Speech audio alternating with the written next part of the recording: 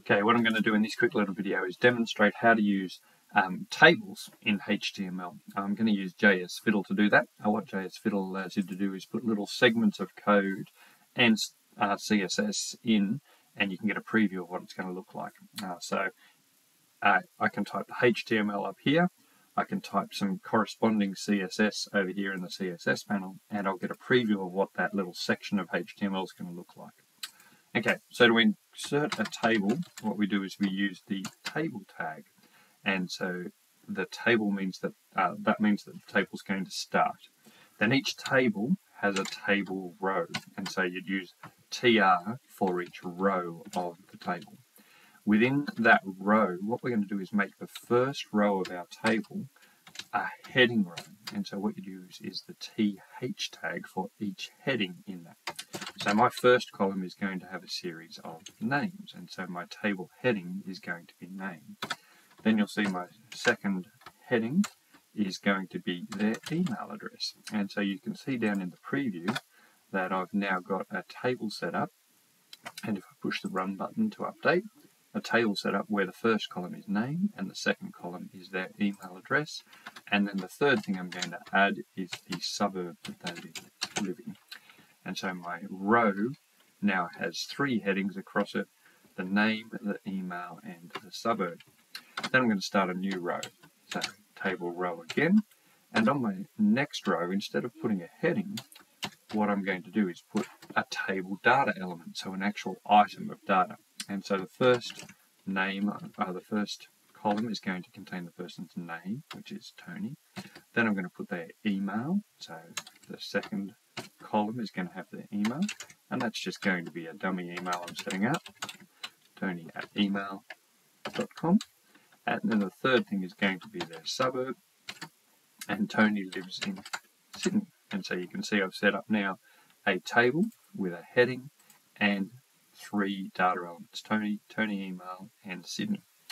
And so I've now got two rows in my table. And you can see down here on the preview, if I update it with the run button, I've got my first row with the headings in it and the second row with the data in it.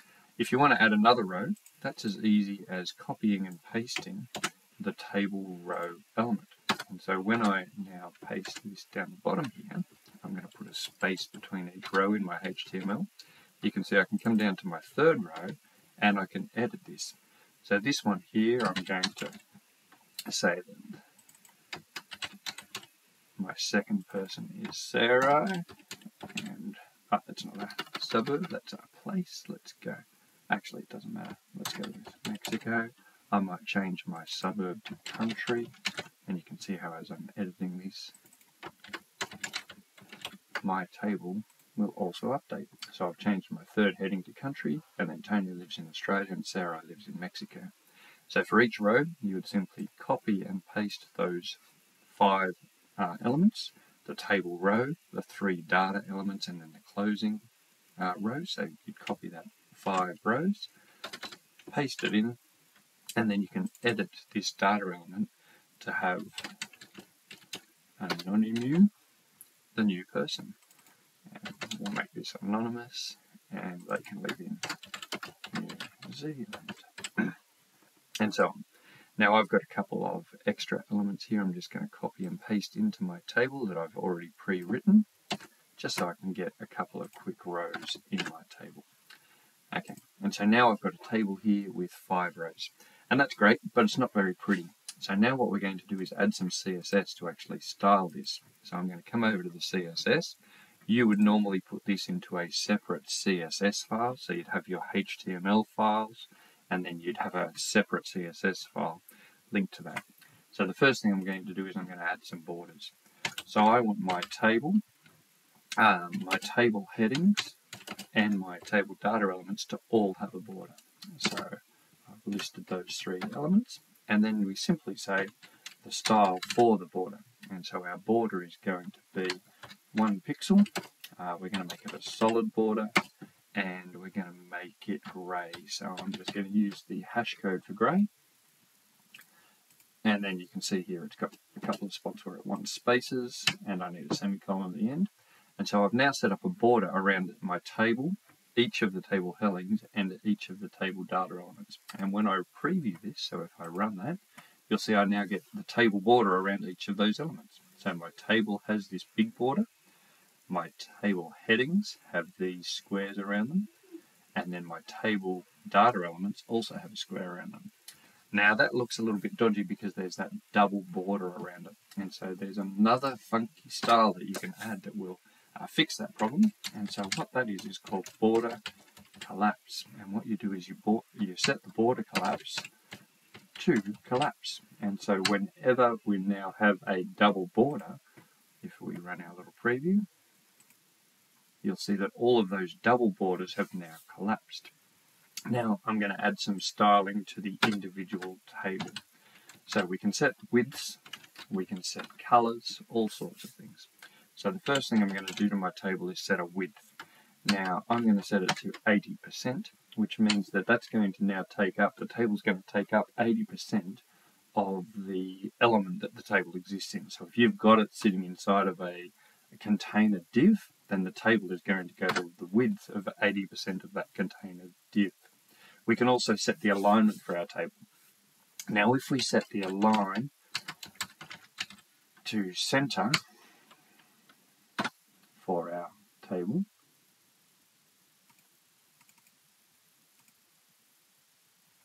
we run that, is that actually on a table element? Ah, maybe you can't set the alignment in the table element. You probably can only set that for the table data. Let's try, oh, it's going to be text align, isn't it, of course text align is the name of the CSS. So when we set the text align equal to the center, what that's going to do is it's actually not going to center the table, but it's going to center each of the text elements inside of the table. And there you go, you can't actually put text align on the table.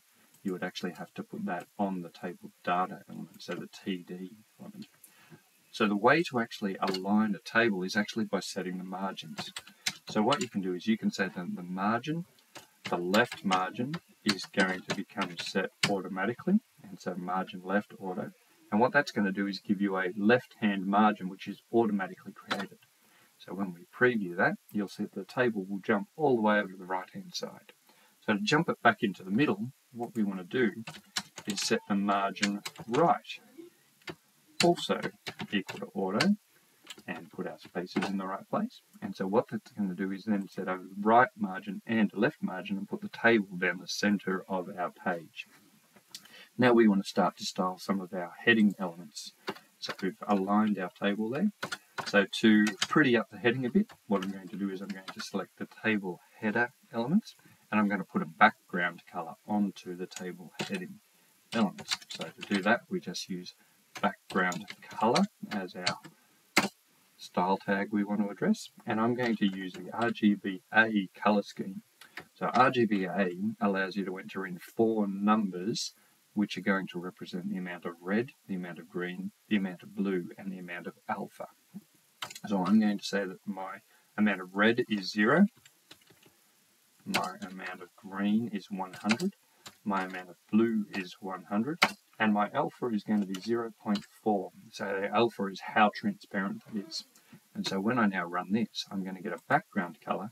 You'll see across my table heading element here, where I've got no red, I've got a mix of green and blue as my color, and then the alpha content is 0.4.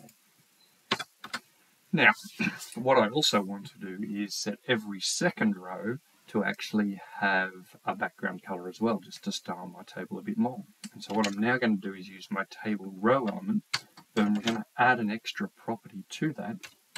And the property I'm going to add is the nth child. And so this means that you can address a number in the nth, so the third or the fourth or the sixth child element of that. And instead of picking a number there, I'm just going to say every odd one, every odd row is going to pick up this style. So the nth child odd means that the odd rows are now going to pick up whatever style I put in here. So I'm now going to set my background color to a lighter version of my color above. So RGBA So instead of being 0, 100, 100, 100, what I'm going to do is say I'm going to say 0, comma 200. Uh, remember the colour is out of 255, so you pick a number between 0 and 255. And then I'm going to set an alpha property to it. And so you can now see I've set up, oh, and I can stick a couple of semicolons there at the end of my rows. So I'll put those in. And so now my nth row, you can see, have this lighter colour green in them as well. So I've now set up a table row. The odd rows now have this lighter colour. The header row has a slightly darker version of the same colour. So still green and blue mixed together, but less green and blue, or a darker version of green, green and blue rather than the more fluorescent version. Okay, there's one more style I want to head up, and that's going to be my hover. So when I hover over a row, you'll see at the moment when I move over my table cell, uh, it doesn't actually do anything. Uh, so what I want to do is actually set up hover property for my table row so that when I hover over one of these rows it actually looks like it's got a selector on it. So I'm going to again address my table row but the property I'm going to address is the hover property. And so table row hover, that means when I hover over the top of that, I'm going to change the background color of that table row that I'm hovering over and I'll use the RGBA color scheme again. Remember you could use a hashtag in here or you could use a name if you wanted to. And I'm just going to make it grey, so that means I'm going to use 128, 128, 128. So it's a mix of red, green and blue. And I'll stick with my alpha property of 0.4. And so now I've got a hover property. When I run these stars, you'll see that when I come back over to my preview and I hover over those rows, it now has a little grey selector over it. Now you can play around with these colours, obviously by changing the numbers in the background colours, or by adding text colours and so on, you could improve the look of this uh, even more. You could change the font of this. It, it by default will pick up the font that you've set for your whole document anyway, so you probably don't want to change the font within your individual table. Uh, you could set a heading font for the TH um, one, so you could set a, a font family in here that uses a different font for your headers. But you can play around with the colors and so on in order to get a different effect on your table. Alright, so that's how you would add and edit a table using HTML and then style it using CSS.